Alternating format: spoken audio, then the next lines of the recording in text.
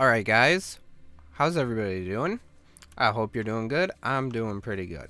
So today we got a few things to go over in game and then most of it's out out of game. Like uh, they really haven't done much in game. So the first thing is the gun has moved. The reason why the gun has moved is because the sunbeam uh, its landing location is actually within this area, like give or take a couple feet. Um, they released the coords for that on Trello in the Bare Bones story. And the reason why this is moved besides that is it's actually going to like move and track the sunbeam and then shoot it down. If we were to play the sunbeam uh, effect, it actually still shoots where the gun used to be. So my assumption would be that like it's looking here, the sunbeam comes in and then it moves like this and then shoots it down. So like it charges and then shoots here. So we'll see though. And then uh, some other small, like very small updates is this is green now and they have some lighting. Like there's a spotlight here and there's one there and one there. So they've been updating this a little bit. Uh, besides that, there's not really much. Uh, one thing I do want to talk about is I found this. I don't know how long it's been in the game, but there's hatching enzymes. So what I do know about this is that's not the recipe that's going that it's going to be.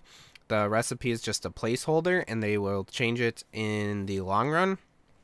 It is there so that way we can actually hatch the sea emperor eggs that is something that the Wikia says. So it's going to be pretty late game, and we're going to use it to hatch the uh, Sea Emperor egg. So that should be really interesting um, to see. And then pretty much everything else is in the Lost River. So I will meet you there. Alright guys, so the first thing in the Lost River is they've actually updated the coral on the skull and they got rid of that moss that was just like hanging off the side.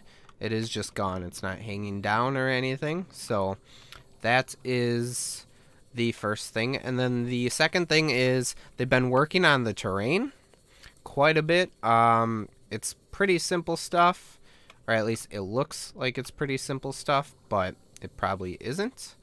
So if we come over here, they've actually added some geysers. Now, as of right now, they are not functional geysers. They don't have the smoke and all the effects, but they are here. So here's the first one. It's a smaller one. And then we have a pretty big one here. And they've actually made this look like a river. And over here, and they actually have it like holding the brine in now. It's no longer like a square or flat slab of green just floating there. And the same thing over here.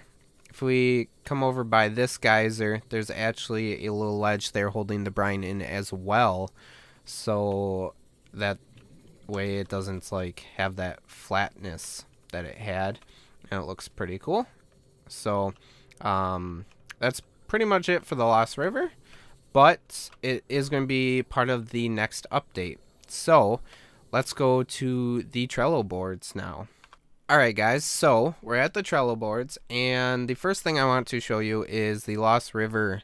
This is what it's going to eventually look like and this is in the second part, not by the tree or the skull. Um, so this is what it'll eventually look like. They do have some of this, they have the trees, they've had those for a while. They do have these glowing orb things and then they do have some of this grass but it's nowhere near complete like this image here.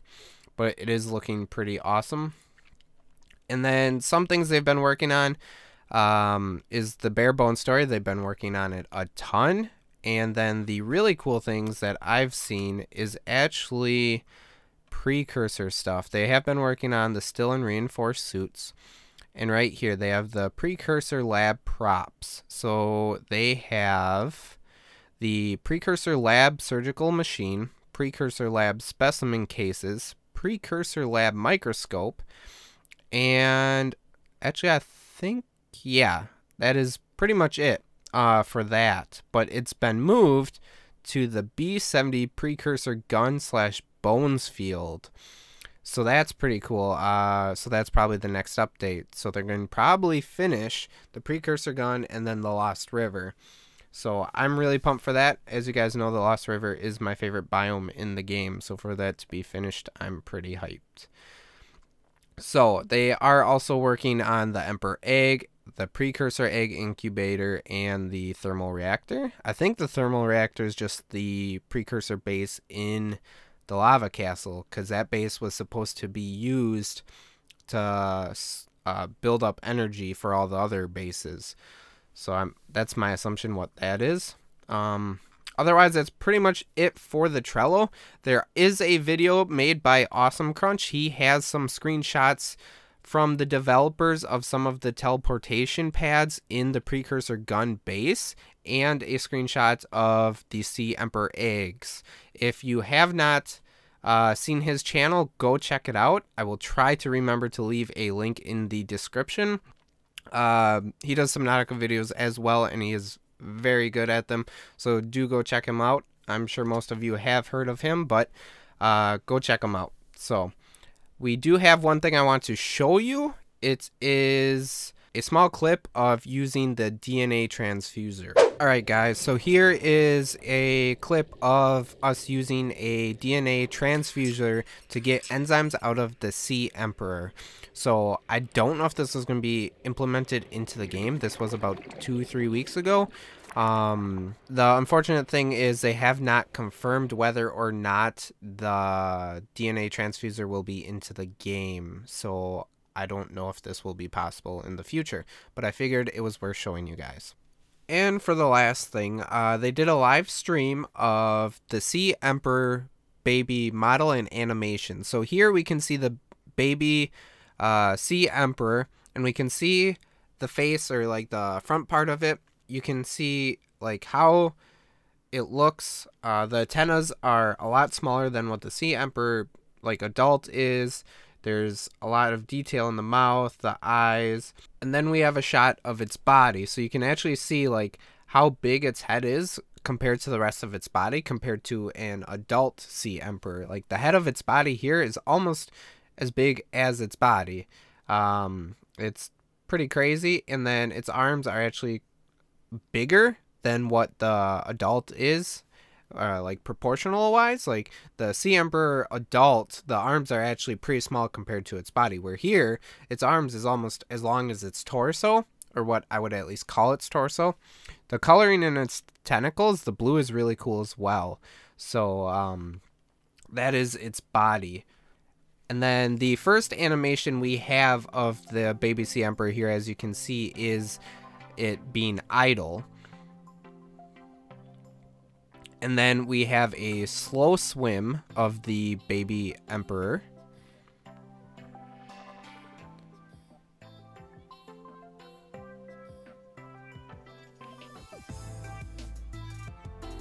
And then there is a medium swim.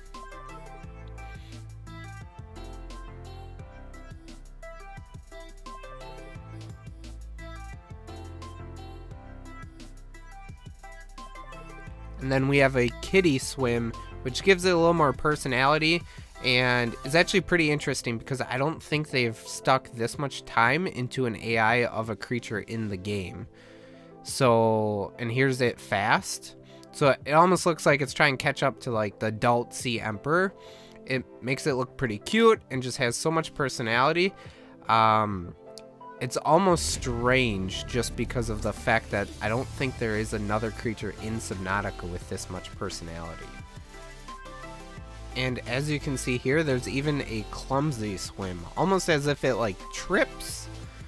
So it's pretty like like I said, like there's just so much personality into this creature that you can really tell it's the main focus of the game. And then here we have where it actually yawns.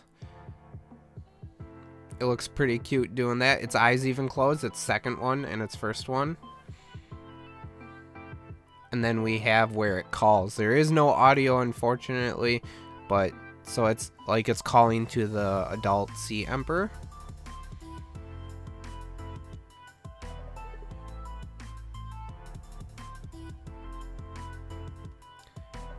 And then this next one's really cute. It's where it actually like scratches its head, almost as if it's like a cat or a puppy.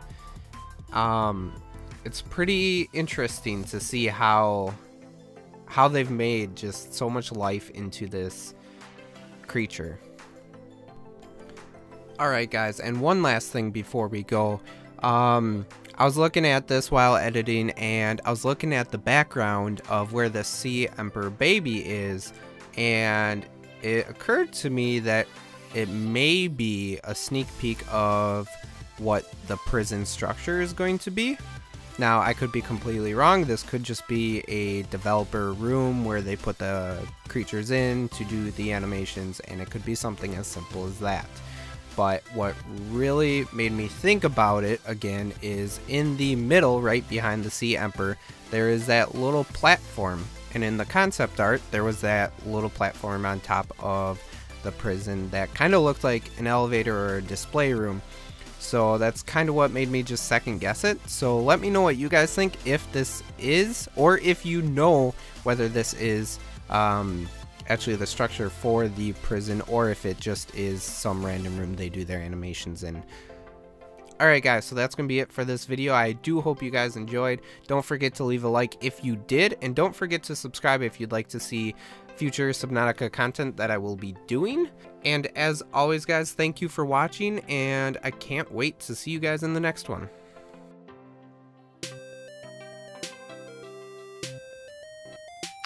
Alright guys, so um, we're at the precursor gun here, and if you haven't seen it already, we can actually fire the gun. Um, so, basically how you fire the gun is you go into the console,